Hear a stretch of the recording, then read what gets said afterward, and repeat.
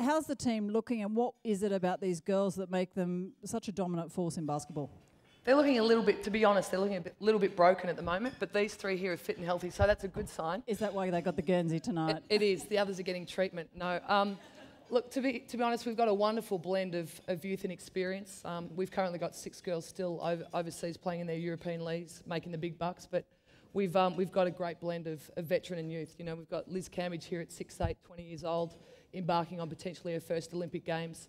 Um, we've got a veteran like Lauren Jackson going to her fourth at the ripe old age of 31 um, and, and, a great blend of dual and triple Olympians and possibly four or five first time Olympians. So, a great mix of, of youth and experience. Um, you know, the Olympics is tough. The US is certainly the, the, the team to beat. They've, they've uh, won nearly every gold medal.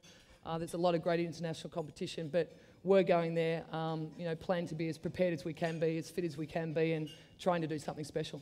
I remember when I was in year five and the teacher went around asking us what we wanted to do when we were older, and I said, I want to play basketball for Australia, basketball for Australia in the Olympics. And um, so that's something I've always wanted to do, and it, it's something special if I get to be a part of that. Were you already six foot ten then? Almost. Just pretty fair shout. Uh, Carly, you've played uh, both here and overseas. Uh, how did playing in France compare to uh, to playing in Australia? It was actually very different. I, apart from being really a really physical league, I remember my first two games that I played, preseason games back here. I got fouled out, and they were calling me a bit of a thug.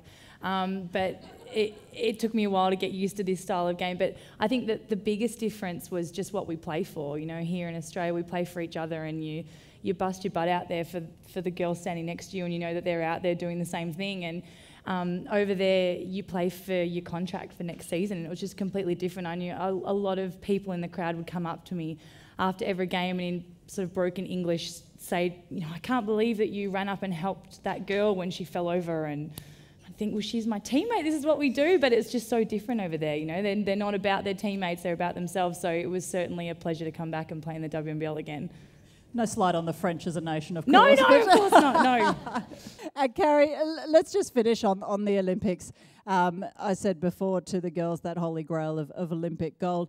Now, I, th- I, think we become a little bit blasé when we talk about Olympic golds because it's such bloody hard work to get to an Olympics. Do we take for granted the fact that these girls are, are so successful that we assume they're going to be there? Are you going to get gold? Is that something you get sick of hearing?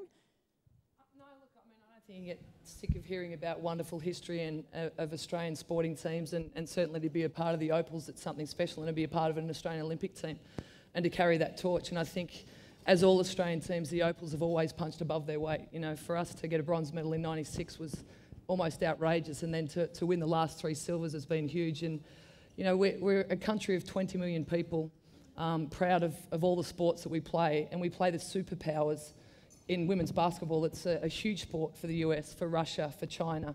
Um, and here we are as little old Aussies. Well, Liz isn't so little. Um, but, you know, taking on, you know, nations that put huge amounts of money into their sports, that, that play for a lot of things, and, and Australia and the Opals go there and stand up, you know, stand up proud and do great things for our country and for, for basketball. So, to, uh, you know, it's silly to say that there's not pressure on us to, to repeat and get back on podiums and, and to win medals. And uh, to take on the might of the US is a big task, but as all Australian teams will and do, is we'll go in there with a, with a fight and, and go in there and, and do Australia proud. How's the team looking, and what is it about these girls that make them such a dominant force in basketball? They're looking a little bit, to be honest, they're looking a bit, little bit broken at the moment, but these three here are fit and healthy, so that's a good sign. Is that why they got the Guernsey tonight? it, it is. The others are getting treatment. No. Um, Look, to be, to be honest, we've got a wonderful blend of, of youth and experience. Um, we've currently got six girls still over, overseas playing in their European leagues, making the big bucks, but we've, um, we've got a great blend of, of veteran and youth. You know, we've got Liz Cambage here at 6'8", 20 years old, embarking on potentially her first Olympic Games. Um, we've got a veteran like Lauren Jackson going to her fourth at the ripe old age of 31. Um, and, and, a great blend of dual and triple Olympians and possibly four or five first-time Olympians. So a great mix of, of youth and experience. Um, you know, the Olympics is tough. The US is certainly the, the, the team to beat. They've, they've uh, won nearly every gold medal.